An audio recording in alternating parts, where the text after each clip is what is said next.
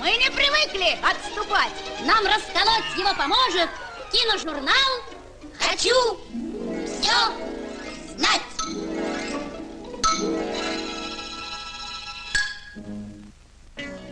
Упрятан весь киножурнал в картинку, полную чудес. Вглядись в нее. Ну что, узнал? Да, это славный Днепрогесс. Владимир Ильич Ленин мечтал о России электрической. Днепрогесс. Гидроэлектростанция на Днепре. Осуществленная мечта великого Ленина.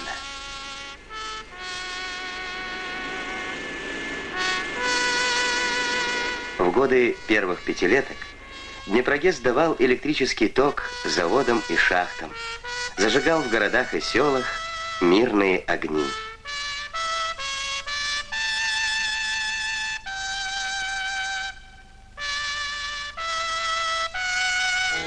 Гитлеровское нашествие принесло с собой другой, злой огонь, огонь разрушения. Фашисты готовились стереть Днепрогесс с лица земли. Этому помешало стремительное наступление нашей армии. И все же картина, которую застали здесь воины-освободители, была страшной. Все нужно было начинать сначала. Свою книгу о том, как весь наш народ возрождал Днепровскую плотину, Леонид Ильич Брежнев так и назвал «Возрождение». Руки вчерашних солдат поднимали гидростанцию из руин. Это и в самом деле было ее второе рождение. Сегодняшний Днепрогесс, Днепрогесс-2, уже действует.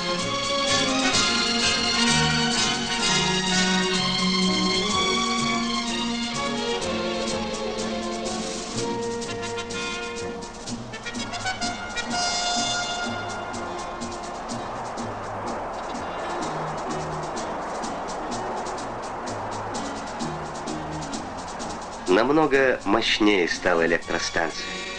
Вертятся турбины новых генераторов, бежит по проводам электрический ток. Живет и работает Днепрогесс, славный первенец ГОЭЛРО, ленинского плана электрификации нашей страны.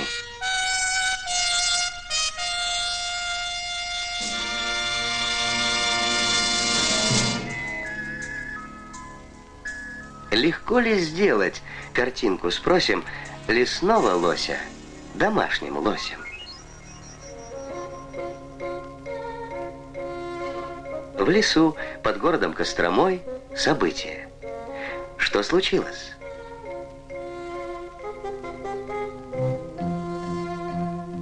Как будто ничего особенного. В лесу родился лосенок, но необычный. Сразу после рождения медосмотр. И на специальном транспорте в детский сад. А там уже все готово. Хотя из одной соски всех, пожалуй, не накормишь.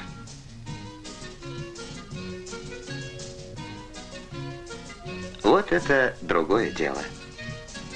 Молоко лосихи полезно не только этим малышам, но и людям.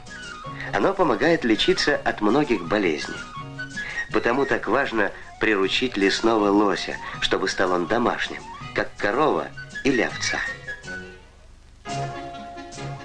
После завтрака прогулка.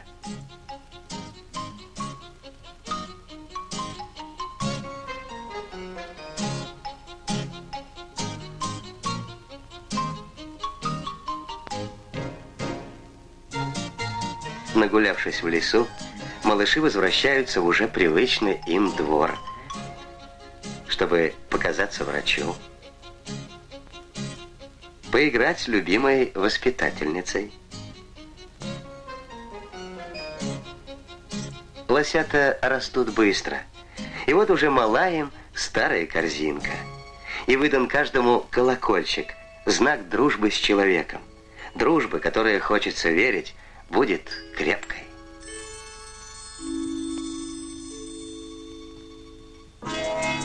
Теперь на картинке трамвай. Но постой, трамвай-то трамвай, да трамвай непростой. Когда-то его называли конкой. Двигали вагон по рельсам две живые лошадиные силы. Сто лет назад трамвай стал электрическим и дожил до наших дней. Правда, бывает так, что ездит он вверх колесами. И рельс у него всего один, и тот над головой. А внизу, смотрите-ка, река.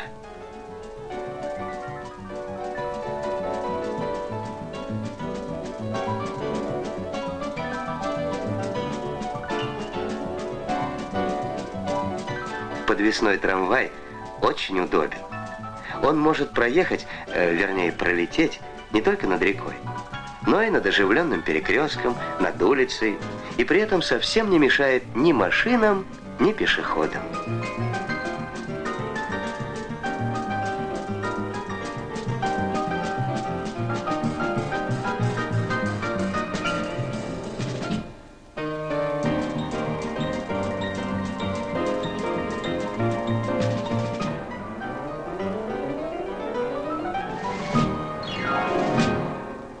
Все нашли. И Днепрогесс, и трамвай, и с лосем лес. Ну, а что увидишь ты среди этой черноты? Не пугайтесь, пожалуйста. На вас смотрят существа очень мирные. Это геккон. Его древние сородичи, доисторические ящеры, давным-давно вымерли. А гекконы пережили многие тысячелетия и прекрасно себя чувствуют в наши дни.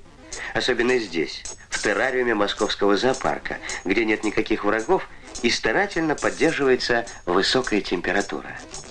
Геккон не умеет моргать, вернее, ему просто нечем. Веки у него срослись и превратились в прозрачные очки. А как же быть, если соринка в глаз попала? Представьте, гекконы терпеть не могут витамины, необходимые для здоровья. Вот приходится хитрить. Витамины закапывают в глаз и...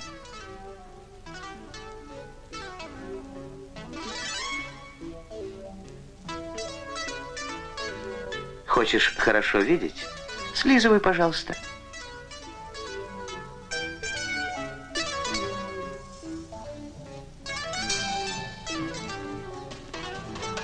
А сейчас самое удивительное –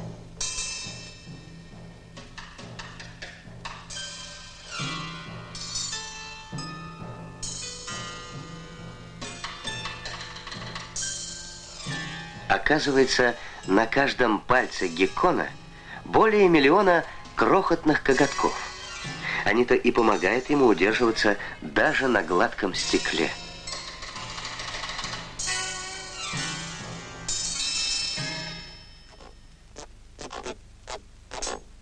Огромное количество вредных насекомых съедает ежедневно за обедом маленькое ловкое существо – за это и любят гекконов на их родине.